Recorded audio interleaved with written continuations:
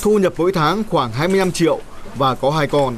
Chị Ninh cho rằng mức giảm trừ gia cảnh như hiện nay không đủ để vợ chồng chị vừa nuôi con vừa tích lũy để mua nhà. Vì vậy, mức giảm trừ gia cảnh 4,4 triệu đồng cho một người phụ thuộc là quá thấp. Một em nhỏ bây giờ đi đi học, đi gửi mẫu giáo thì tối thiểu nhất là cũng phải 4 triệu. Cái thứ hai nữa là tiền sữa cho các con uống hàng ngày. Đấy rồi tiền ăn uống rồi chi chưa chưa kể các chi phí nếu như các con ốm đau đó thì tôi dự trù khoảng tầm từ 7 đến 10 triệu. Với cái mức sống ở thành phố Hồ Chí Minh rất là đắt đỏ như hiện nay bây giờ thì cái mức này nó còn khá là thấp. Cho nên là với tư cách người nộp thuế thì tôi rất mong là chính phủ sẽ cân nhắc trong thời gian tới là tăng cái mức giảm trừ gia cảnh.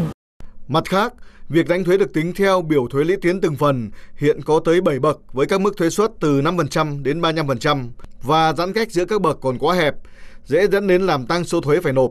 Việc bắt đầu đánh thuế lũy tiến từ bậc 5%, tức thu nhập mỗi tháng vượt đến 5 triệu đồng, so với thu nhập bắt đầu phải chịu thuế là quá thấp. Thì chúng ta có thể rút ngắn lại là chỉ còn à, 3 bậc đến 4 bậc thôi. Và cái mức uh, giá trị bắt đầu khởi điểm để đánh thuế thì cũng phải nâng lên.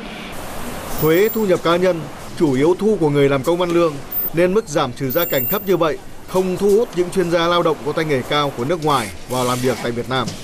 Hiện nay thì có rất nhiều đơn vị là đang áp dụng mức lương là lương khoán, lương khoán theo năng suất.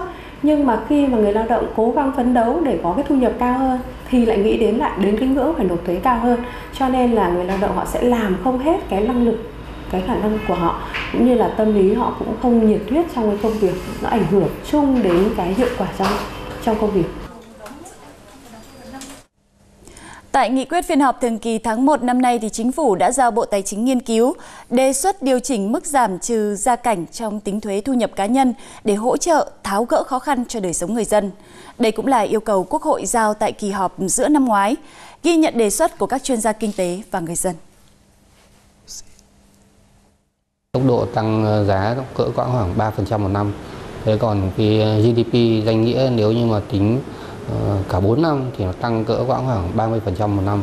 Tức là cái mức sống của người dân cũng ừ, đã, cái chi phí của người dân là nó đã tăng cao hơn so với ở trước đây. Chúng ta cần thiết phải ờ, nâng cái mức giảm trừ gia cảnh. Một phần là cải thiện cái đời sống và cái hai là cải thiện cái sức mua. Chúng tôi rất mong muốn bộ tài chính chính phủ cần xem xét tính toán lại các cái cơ sở để tính toán cái mức giảm trừ gia cảnh phù hợp cũng như đưa ra cái mức mà giảm trừ cho cái người ăn theo của những cái người mà chịu thuế thu nhập cá nhân thì lúc đó cái việc mà chúng ta đánh cái thuế thu nhập cá nhân nó mới phù hợp với cái điều kiện thực tế. Em cũng muốn điều chỉnh khoảng là từ 11 triệu đến khoảng 15 triệu. Đấy. Còn đấy là cho người lao động. Còn đối với giảm trừ gia cảnh cho ờ, các cái người phụ thuộc ấy, thì cũng đề nghị tăng khoảng độ là 6 triệu đồng một người lao động ạ.